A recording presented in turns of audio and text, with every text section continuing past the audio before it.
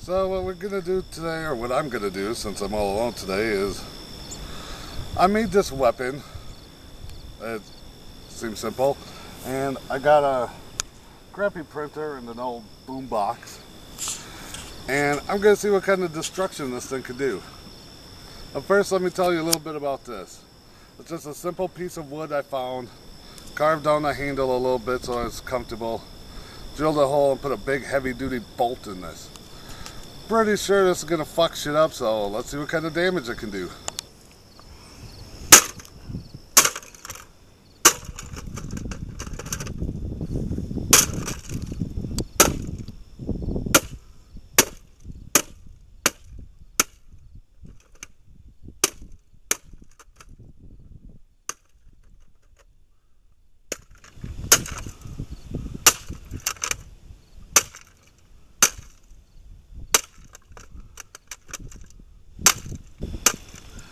Well, I think that was pretty goddamn effective.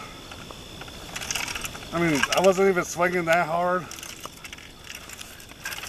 I broke this thing pretty fucking easy. Well, let's see what it does to a printer.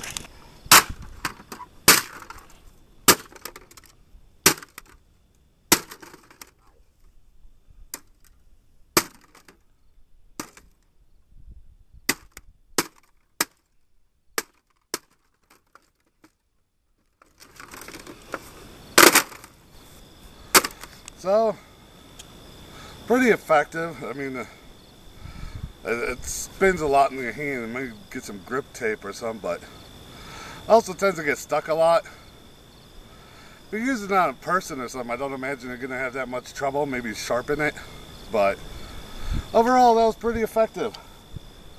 And I destroyed the fuck out of all that shit, so not bad.